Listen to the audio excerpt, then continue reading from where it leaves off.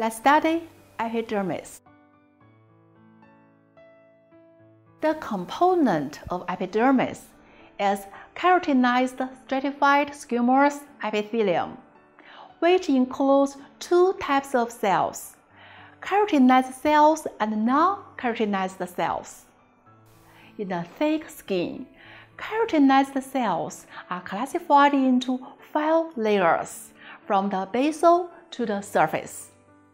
5 is stratum basale, 4 is stratum spinosum, 3 is stratum granulosum, 2 is stratum lucidum, 1 is stratum corneum. First layer, stratum basale, also named basal layer. Structure of LM. It is a layer of cuboidal or low columnar cells resting on the basement membrane. Basophilic cytoplasm with a large pale nucleus. EM. The cell is rich in free ribosomes, filament, desmosome, and hemidesmosome. Function. They have intense mitotic activity and proliferation provide a constant renewal of epidermis. Second layer, stratum spinosum, also named spinous layer, LM.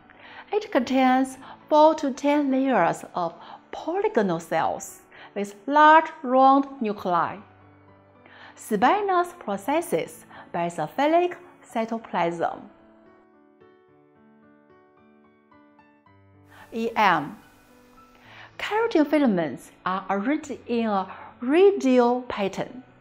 Lamellar granules are new components in the cytoplasm containing glycolipid and steroid and discharge contents into the intercellular space to form sheet, which acts as a barrier to penetration by foreign materials and provides a very important sealing fact in the skin. Membrane is thicker because of involucrin located in inner side of the membrane. Okay, let's look at the next layer, granular layer or stratum granulosum. LM. It contains 3 to 5 layers of flattened cells nuclei began to degenerate, stain slightly. Strong basophilic cytoplasm. EM. Rich in keratin filaments. Lamellar granules are much more in amount and fused with cell membrane. Keratohyalin granules are newly formed, no membrane coated which contain histidine with keratin filaments inserting into them. Keratohyalin granules appear strong basophilic in LM. Next layer, stratum lucidum.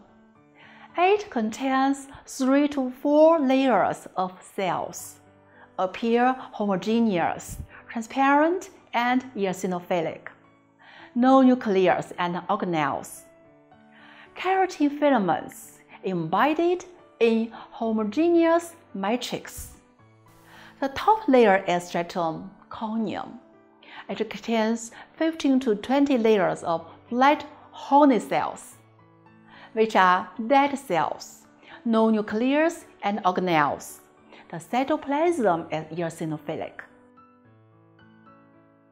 EM Keratin filaments are 6 to 8 nanometers thick, which fill the cell embedded in homogeneous matrix. Cell membrane is 15 to 20 nanometers thick. Surface cells are continuous shaped from outer surface to form diameter.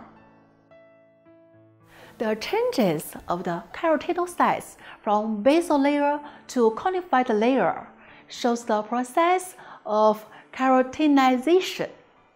Cell shape changes from columnar, polygonal, spindle flat at last shed off.